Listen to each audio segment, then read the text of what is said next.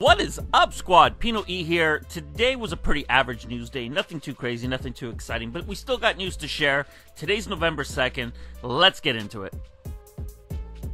I want to start with Complex Con because I've gotten a lot of questions over on Instagram asking me what it is. The easiest answer is that it's a convention set up by Complex. It's not just about sneakers, but that is a piece of it. A ton of big brands will be there.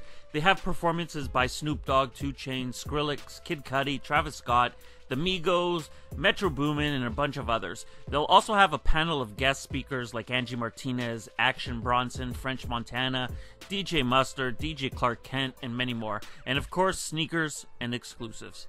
If you're interested in going, it's November 5th and 6th in Long Beach. And if you want to purchase any tickets, I'll leave a link in the description below. Moving over to sneaker news, here's a look at the Bape Reebok Question Mid collaboration. The shoe features Bape's iconic camo pattern covering the upper. The toe box, quarter panel, and toe cap are in an olive green colorway, and it sits on a white sole. There's no date yet officially announced, but stay tuned. Let's jump over to Puma, and what we got up on the screen here are the Kicks Lab Puma Disc Blaze Desert Trooper. Not sure how to really describe this shoe, but it's got some pink fuzzy shit on the upper, with some black and gray straps and a machine in the middle. Man, I hate this shoe. I'm sorry, I can't even try on this one. But if for some reason you want these, they drop November 5th for $150. Adidas is up next, and what we got is a new model from the three stripes, the Adidas EQT Support Ultra Boost Prime Knit. I'm not sure why this shoe exists. It's pretty damn close to the Ultra Boost model, but whatever. It comes dressed in a full prime knit upper in vintage white and footwear white with hits of black detailing, a white plastic heel counter, and it sits on a full boost mid with a rubber outsole. This model will be dropping sometime in January 2017, and in my opinion, it's redundant. Up next is another Adidas NMD XR1 in a blue camo colorway. This shoe's built with a mesh upper with hits of suede on the heel and the tongue. We have a light blue cage with navy blue EVA insert, a white boost mid, and a light blue rubber outsole.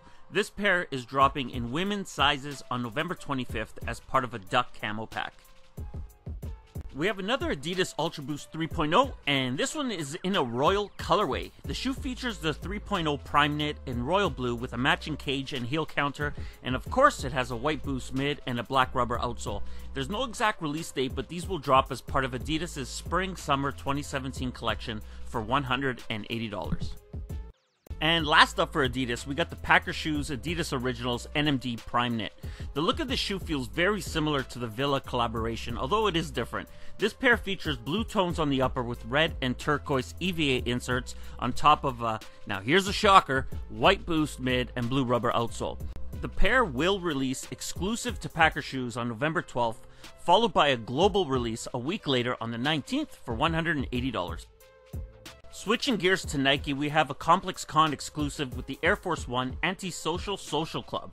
This is extremely limited with only 24 pairs being made available, and it's pretty much a white Air Force One with Get and Weird on the tongues and an anti-social social club stamped on the side. You won't be able to buy these, but 12 pairs will be given away each day via a raffle ticket, which you get by each purchase you make at the Anti-Social Social Club booth if you remember these Air Force One LA from the early 2000s, then you're an OG collector.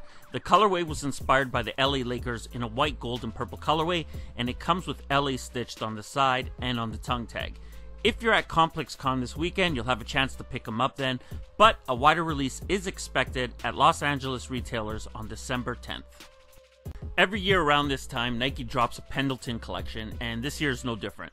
Three silhouettes make up this pack the Air Max 90, Air Max 1, and the Nike Internationalist, and all three pairs feature a black suede and leather upper with Pendleton Navajo pattern textile, blue branding, and a Vachetta leather sock liner. This full collection drops on November 9th at select Nike sportswear retailers. Yesterday, I shared the release information and looks at the Nike Special Field Air Force One, and if you're still on the fence about these, here's how they look on foot. Just a reminder, these are dropping November 5th and will retail in men's sizes for $200 and in women's for 185. And remember guys, it's a purse. Let me know down in the comments below if you plan on picking these up and if these pictures help you change your mind. You all know who Fat Joe is, and on November 5th at 10 a.m. Eastern, his new sneaker shop, Up NYC, is opening its doors. The shop is located at 3806 Broadway in New York City, and as part of the grand opening, there is a huge Air Jordan restock going down. I'm not going to talk through all the shoes that are releasing, but I'll throw them up on the screen.